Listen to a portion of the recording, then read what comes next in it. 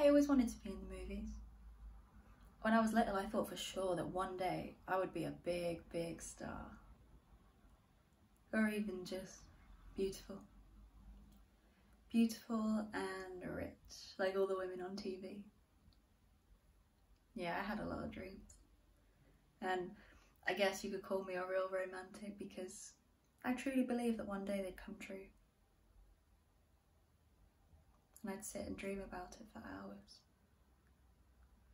As the years went by, I learned to stop sharing this with people.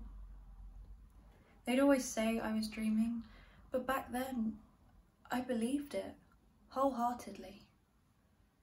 So whenever I was down, I would escape into my mind, to my other life, where I was someone different. It made me happy to know that all these people just didn't know yet who I was going to be. But one day they'd all see. I'd heard that Marilyn Monroe had been discovered in a soda shop, and I thought for sure it could be like that. So I started going out real young, and I was always secretly looking for who was going to discover me. would it be that guy, or, or maybe that one over there? I never knew.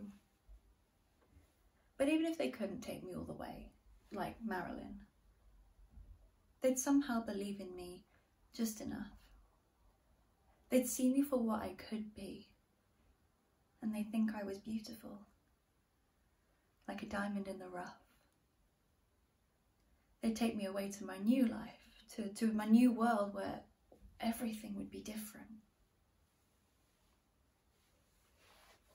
Yeah, I lived like that for a long, long time.